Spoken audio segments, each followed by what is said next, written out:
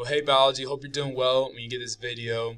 I'm using the webcam in my classroom, first time trying this, so hopefully it works out. But I wanted to make a video about discussing expectations for the OWL pellet report. It is due next Friday. I believe that will be the 17th of September. And I want to go through exactly where to find everything, what I expect in it.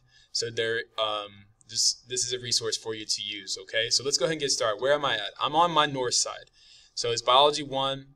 Uh, I'm just using biology here, period two. But all of the classes have an pellet dissection topic. Okay, so if you click on that, you can see all these different resources here. You know, some nice photos. That's pleasant. That's even more pleasant. Okay, got some videos here and various things. I might try to post some photos of some of the reconstructions that we made in class. Uh, pretty cool stuff. So right here, you'll find the OWL pellet guide and the OWL data. If you open that, you will find exactly what I'm going to go over today. I did pass out one in class, but I made a few adjustments because I wanted to manipulate and analyze the data a little bit more than what I originally passed out. So the updated guide is right here, okay? So let's go ahead and get started. So this is the guide that you will find when you open that up. And so what you will see here is I want a title. So every lab should have a title.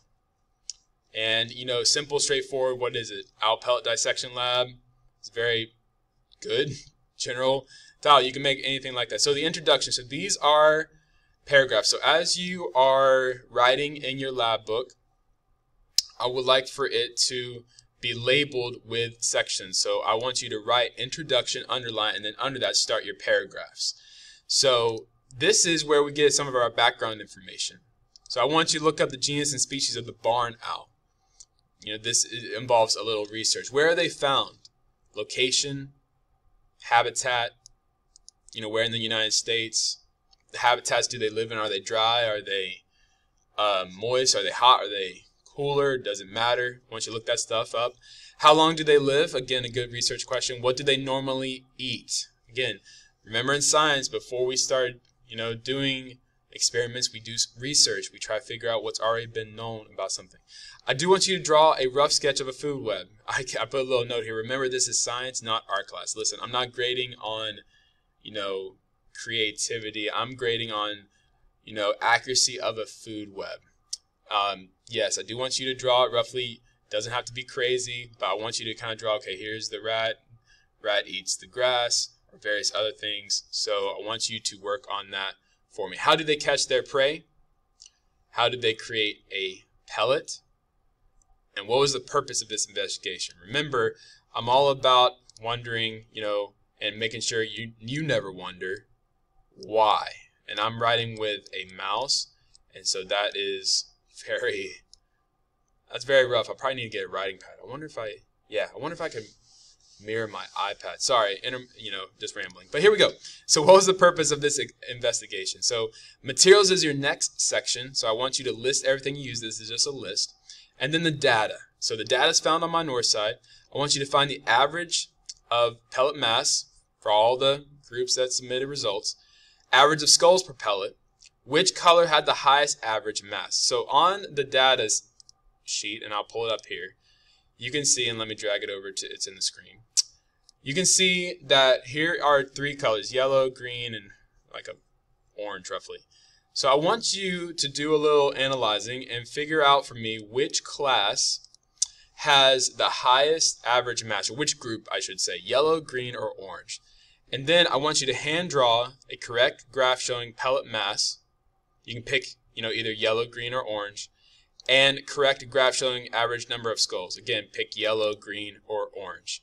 Okay, what type of graph should I use? Should I use a line graph? Should I use a bar graph? Should I use a pie chart? There's different examples of the way of visualizations of data.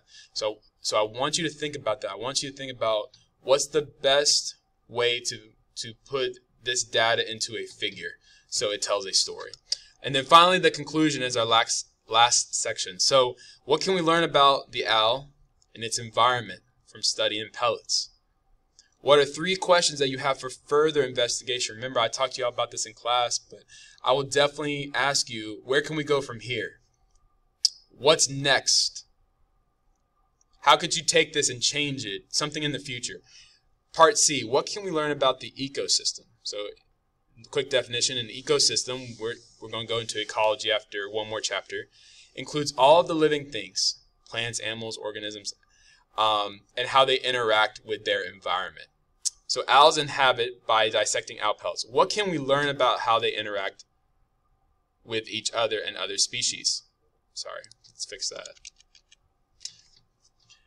What would happen if the rodent population declined in the owl's region?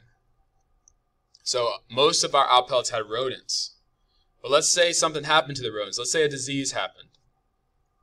Uh, maybe a new predator came into the scene and started eating them faster than the owls could. What would the owls do? How would the owls respond? Remember, living things respond to their environment. They adapt.